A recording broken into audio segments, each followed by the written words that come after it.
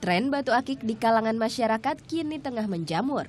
Tak heran, tren ini melahirkan pedagang batu akik dadakan, seperti yang ada di Jalan Pungkur, Kota Bandung.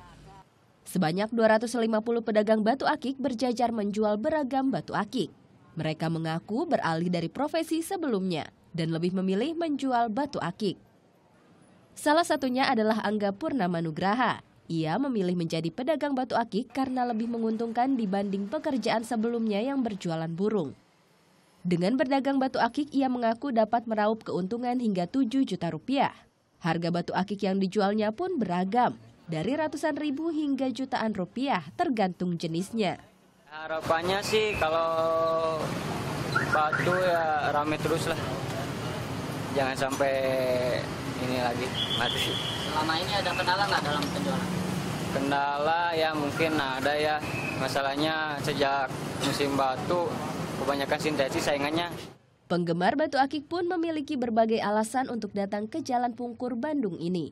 Oh, nyari-nyari aja lah. Apa ya? Dari batu, batang, bikin di sini.